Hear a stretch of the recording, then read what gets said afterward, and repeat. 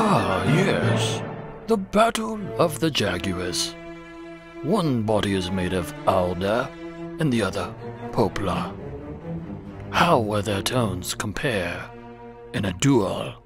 Will the Squier Classic Vibe Jaguar crush and destroy the Fender Kurt Cobain Jaguar with its monstrous tone, scaring off the Kurt Cobain Jaguar to run to its other pack of Kurt Cobain Jaguars?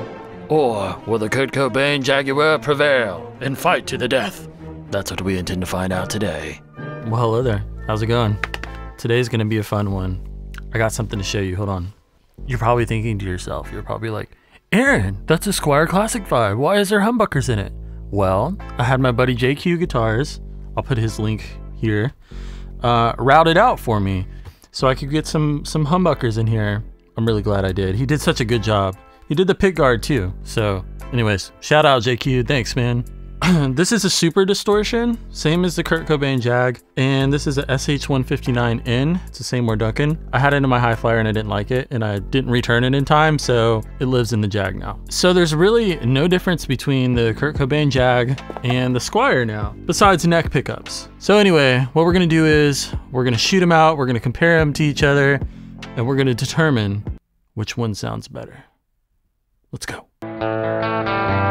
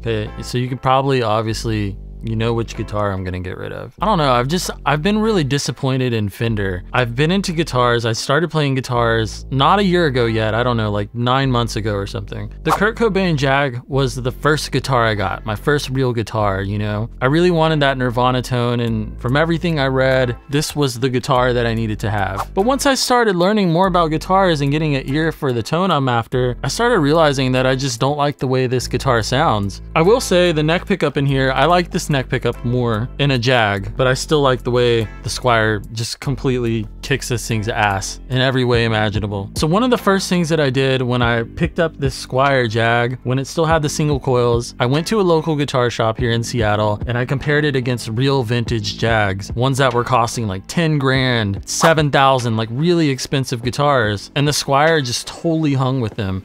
The feel was the same, the sound was the same. I actually have some audio clips on my phone. Maybe I'll put them in the end of this video if you want to hear the Squier with single coils compared to the vintage ones, but it was like off my cell phone in the middle of a noisy store, so it doesn't really sound the greatest, but I digress. Now, what I really don't like about this Kurt Cobain Jag is the neck is super chunky. Uh, it's a really chunky, thick neck, and the frets are really sharp on the edges. I don't know why Fender does this. They put these stupid jumbo frets on everything, and I can't stand them. Like when I picked up a real Jag in the store, a vintage one, it felt nothing like this. Like this feels really, really so far off, it's ridiculous. Another thing is it's a synthetic bone nut. Well, the Squier has a real bone nut. What is going on with Fender? Seriously. Another thing I really hate about this guitar is it has a really super thick polyester finish on it. It just, it feels really, I can't stand the way it feels and I really don't like the way it looks. The Squier has a polyurethane finish, so it's it's actually a lot thinner and it doesn't feel as plasticky as this thing feels. Another thing is, is like the color is totally off of what it's trying to reproduce. If you look at Kurt's Jag, it, color is, is very wrong. And I didn't buy this guitar to have like a copy of Kurt's Jag. I'm cool with other color guitars. I actually like having other color guitars. It's just I wanted this sound and this setup was, you know, the tone I was chasing. And I don't like the way it sounds. It doesn't sound good. Uh, this specific body just seems to, to suck all the tone out. Um, I've even tried putting other necks on here, 24 inch scale necks, and doing all kinds of stuff, and the sound chases this body.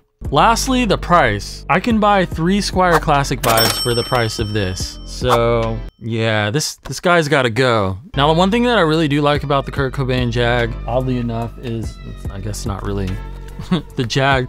But this book that comes with it is so cool and I wish I could keep this thing. It's an incredible book and it has a really awesome interview in here with, with Ernie Bailey and just lots of good stuff. This is such a cool book. I really like it. That's pretty bad that like that's the best thing I have to say about the Signature Series guitar. Yeah. Now the Squier. There's literally nothing that I didn't like about it except for whichever smart person in the factory decides to put on the, the like really thick, hard to remove sticker thingies on here that are protective. I don't know why they didn't use like the little film ones because this took me like three days of sitting around peeling and using goof off to actually get it off. It was it was awful. It was so bad. But yeah, this guitar, this specific one sounds absolutely incredible. I absolutely love it. I've had about, I've gone through about, I guess, eight different Mustangs now. I've had a lot of Mustangs. I had MG65, which was a made in Japan. I had an MG69, which is the ones Kurt used live. I've had one, two, three different vintage ones. I had a 1969 red one. I had the 1970 Competition Burgundy, and I have the Sunburst 1971. And I also had a Squier Classic Vibe 60s Mustang, which was insanely incredible. And I didn't know enough about guitars and tone that I was really stupid and I took it back to Guitar Center. But yesterday I was in here going through all my guitar takes, and that damn Classic Vibe Squier sounds better than every single one of those Mustangs.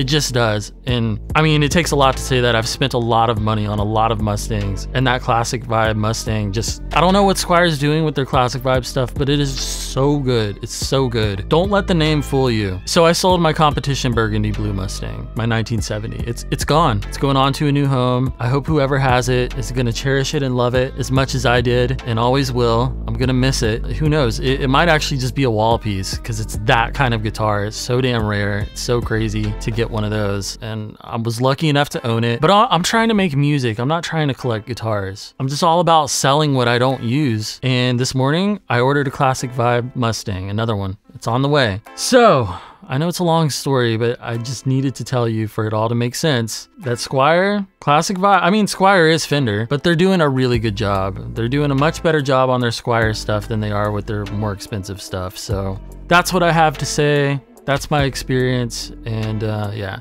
so I hope you guys dug it, and I will see you guys very soon. All right, peace.